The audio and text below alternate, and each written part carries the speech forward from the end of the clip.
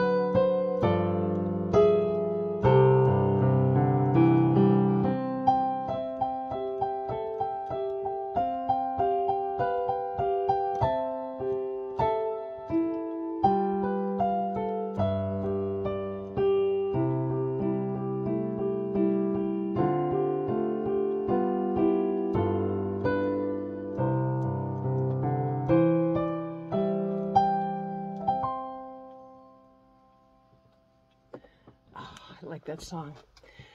No matter what arrangement, I've got a couple other arrangements too, and I really love that song. That is Over the Rainbow. Four pages long, no flats or sharps. And um, I didn't really have a difficult part on this, but let me show you the last two pages, or I can show you the first two pages maybe. Here's the first page. And second page.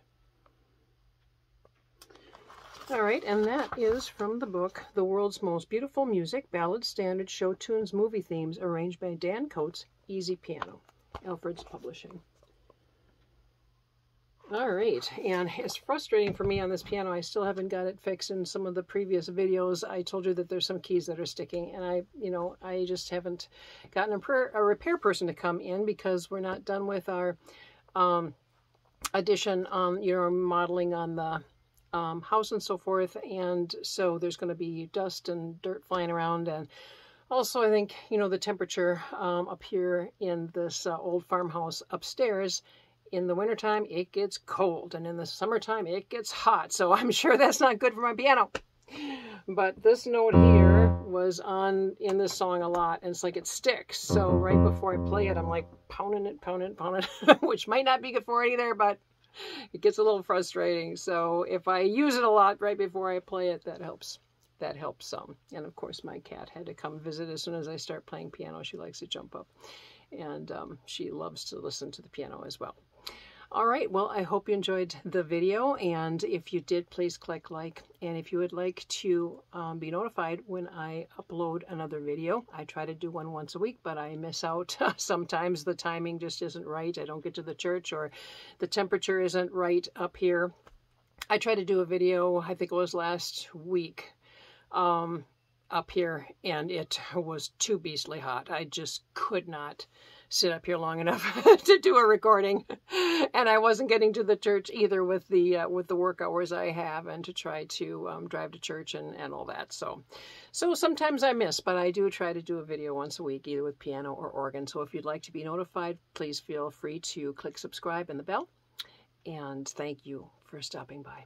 Catch you later.